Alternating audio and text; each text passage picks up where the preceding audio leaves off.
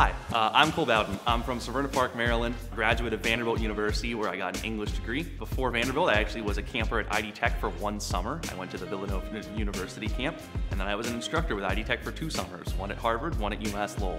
I interned at Facebook for my senior year of college, and now I work there full time as a software engineer. I think one of the most fun things for me as a camper was the way it kind of blended gaming and fun and community with kind of the more serious aspects of technology and coding and programming.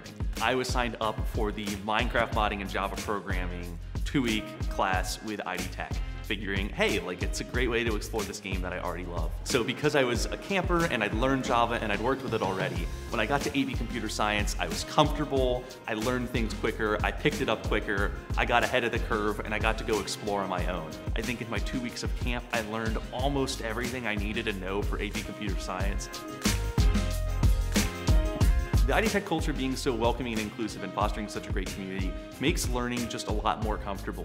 It's easier to learn when you're with your friends, when you're excited, you're engaged, when you're not worried about social pressure or trying to be the cool kid at camp. It's this geeky, nerdy kind of friendly atmosphere where you're not all always into the exact same stuff, but you're all operating in the same space. You all kind of have familiarity with each other.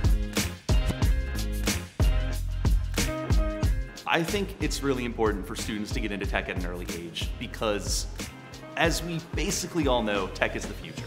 There are more jobs being built in the areas of robotics, in coding, in just AI, in VR, all of that is a growing field. I think they're going to redefine the way we interact with each other, interact with the world, interact with just everything around us. I think they provide a lot of opportunity a VR meeting with people or with friends, a VR hangout is just such a unique experience that we didn't have five years ago, and it's only going to be getting better. I think the way that technology connects us and allows us to collaborate and work together and just hang out is one of the greatest things that innovation has done for us. I have a really big passion for just exploring things. I think one of the most fun things we can do is just go out and learn and teach and share experiences, communicate, build community, build connections, and just understand the world around us. I think